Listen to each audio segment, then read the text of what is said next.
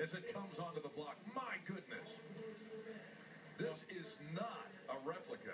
This is the car that spawned so many replicas. This is the real deal. I got butterflies in my I do stomach. too. Is it crazy?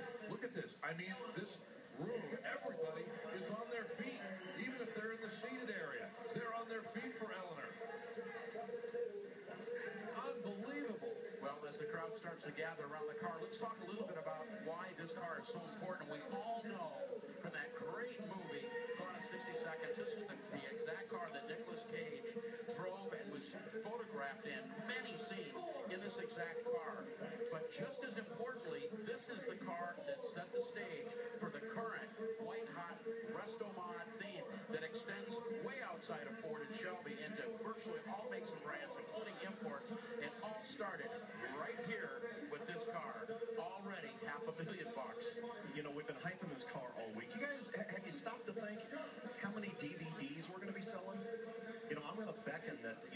You mean in the movie? Yeah, uh, yeah. Uh, I, I figure there's a cut in there for us somehow. Some kind of prorated thing. You, you, working on it. you get the director's cut, you get 45 extra scenes. So now I got to go back and watch it all over again. 600,000 guys. The reserve is off. Go, baby, go. 351 cubic inch Ford power, 400 horsepower. There's a Ford crate engine. All suspension and braking upgrades. The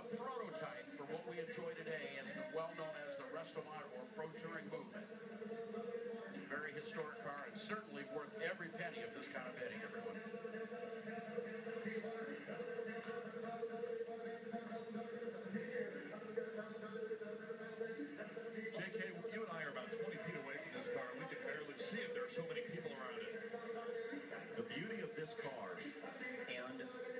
The spawning of an entire generation of replicas has really made this a, a very rare instance where the second version of the film is wildly more popular than the first now, simply because of this automobile. We're at $800,000.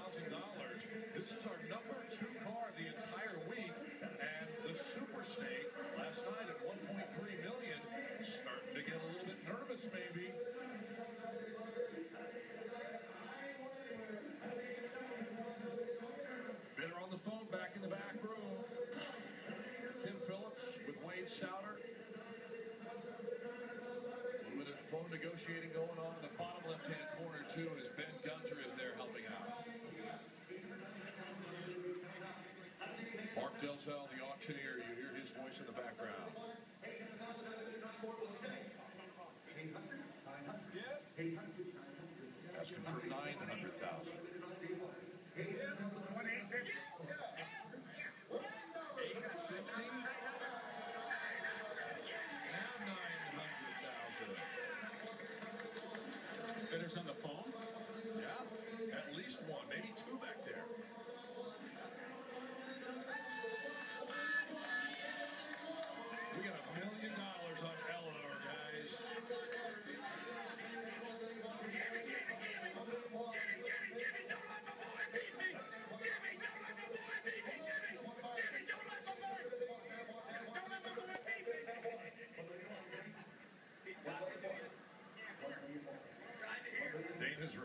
Frank Mecum, who's back in the upper left-hand corner with the orange ball cap on, talking with a phone bidder.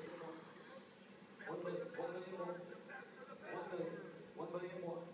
One million more. One million, one million more. One million, one million more.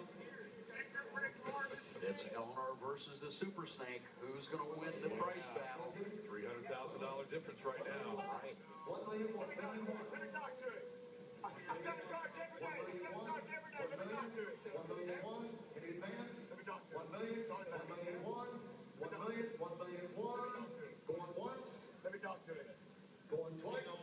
He's gone. Third Call and him back. final Call call. him. Let me talk to him. Let me talk to him. Do I need to take, tell him to make some noise, Andy? There it is. And even one million dollars for Eleanor at Mecum Indy. Well, there went two hours of my life. I have to go watch the movie again. Bye, Eleanor. We're going to miss you. Yeah. Been fun hanging out with you. That's a once in a lifetime, guys. Look at all the portable devices taking a picture of Eleanor as it rolls off the block. How about that? A million dollars for Eleanor, Chris Jacobs. How about that for your first trip to a Mecum auction in Indy? All I can say is, well, you see this grin on my face, Scott? That's all because Eleanor did not disappoint. Many more cars coming up, just like this gorgeous 67 Chevy Corvette with a 427 and a four-speed. Lots more going, be going across the stage. You know you're going to want to stick around and see them right here on Discovery Channel. We are live from Mecum Auction, and we'll be back right after this.